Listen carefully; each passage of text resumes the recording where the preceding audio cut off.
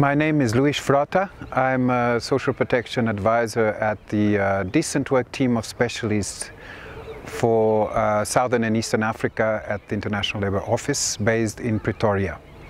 And my job is to advise uh, governments on social protection policy and implementation.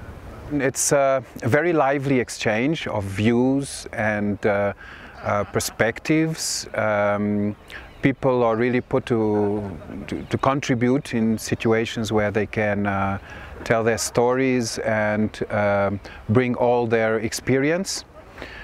So I'm, I'm very excited about uh, all the diversity of, um, of, uh, of, of, content and knowledge. Um, and um, also I think has been structured in a way that you can really uh, systematize the knowledge um, in terms of uh, you know making a bit of consensus and making steps forward for a joint work. Also the, the spirit of joint work and collaboration towards an end product. We try to structure in a logic way our contribution so we effectively are working together. I was um, uh, surprised by the wealth of experience that uh, exists at the community level. Many organizations uh, develop um, very useful and um, you know uh, projects that address the needs of the of the, of the populations.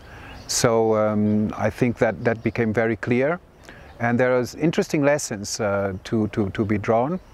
Uh, what I I feel is a bit of there is no systematic learning from all these experiences. That's that's what that's a pity in terms of uh, then being able to, uh, to draw these lessons for programs, for government programs in a more systematic way. Uh, and this is what you know I feel is a bit lacking. When you look at the experience in Asia, for example, you see, you know, social mobilization of informal uh, economy workers and so on, that really tries to interact with government to do better policies.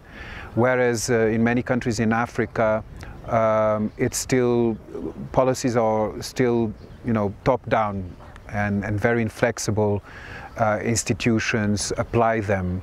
Uh, and I think that's that's the challenge that that exists um, still. We can learn probably from Asia in many respects.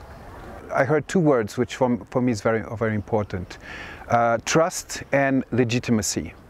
Informal economy workers don't want to contribute to uh, funds managed by institutions that are not trustworthy, that they see are very distant. So how can we build that trust, that, that, that, that uh, you know, bridge that distance?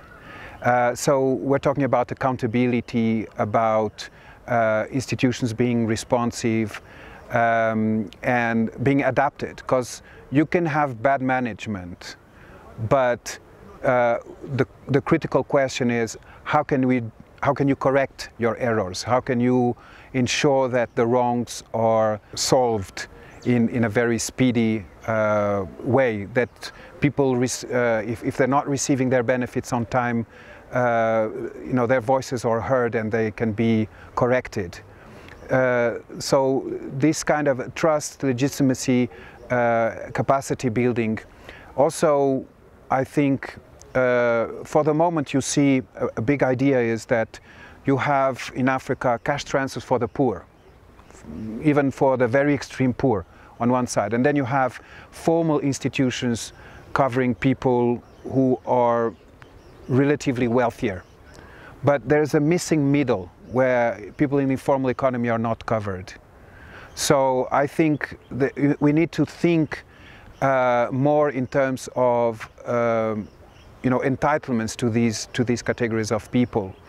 Uh, you know what what new mechanisms can be thought to to cover them, and I think the agency of people, mobilization of people, be they elderly or women uh, living in different vulnerable situations, can help governments to make better policies.